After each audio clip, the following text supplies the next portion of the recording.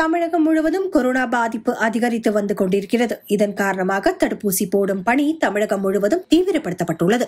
கடந்த ஜனவரி மாதத்தில் இருந்து திருப்பூர் மாவட்டத்தில் கொரோனா தடுப்பூசி போடப்பட்டு வருகிறது. முதலில் முன்கள பணியாளர்களுக்கு இந்த தடுப்பூசி செலுத்தப்பட்டது. இதன் பின்னர் அரசு அறிவுறுத்தலின்படி பொதுமக்களுக்கு போடப்பட்டு வந்தது. கடந்த சில வாரங்களுக்கு முன்பு வரை கொரோனா தடுப்பூசி போடுவதற்கு பொதுமக்கள் ஆர்வம் காட்டாமல் இருந்து வந்தனர்.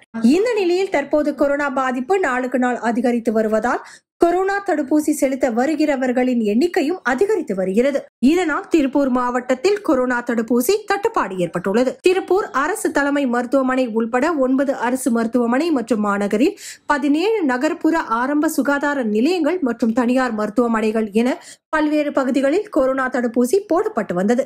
கடந்த சில நாட்களாக கொரோனா தடுப்பூசி போட பலரும் குவிந்து வந்தனர். முதல் டோஸ் செலுத்தியவர்கள் பலரும் இரண்டாவது டோஸ் செலுத்துவதற்கு ஆர்வம் காட்டி வந்தனர். ஆனால் கொரோனா தடுப்பூசி சென்னை மற்றும் கோவையில் இருந்து அனுப்பி வைக்கப்படவில்லை. இதனால் கடந்த இரண்டு நாட்களாக திருப்பூர் மாவட்டத்தில் கொரோனா தடுப்பூசி போட வருகிறவர்கள் பலரும் தடுப்பூசி மருந்து இல்லாததால் ஏமாற்றத்துடன் திரும்பி சென்று வருகிறார்கள். அவர்களை நாளை மறுநாள் தடுப்பூசி போட வருமாறு அறிவுறுத்தப்பட்டு வருகிறது. அவினாசி அரசு மருத்துவமனையில் தடுப்பூசி முடிவடைந்ததால் கொரோனா தடுப்பூசி அறையும் மூடப்பட்டுள்ளது. இது குறித்து சுகாதாரத்துறை அதிகாரிகள் கூறியதாவது கொரோனா தடுப்பூசி செலுத்த பலரும் ஆர்வம் காட்டி வந்த நிலையில் தடுப்பூசி தட்டுப்பாடு ஏற்பட்டுள்ளது. இதுபோல் திருப்பூர் மாவட்டத்திற்கு கொரோனா தடுப்பூசி வரவில்லை.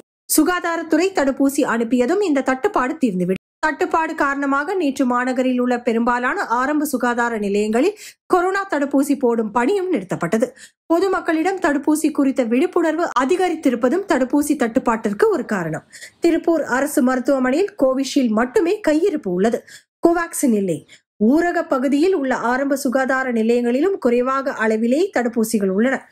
தடுப்பூசி வந்ததும் விரைவாக அனைத்து பகுதிகளுக்கும் பிரித்து அனுப்பி வைக்கப்படும்.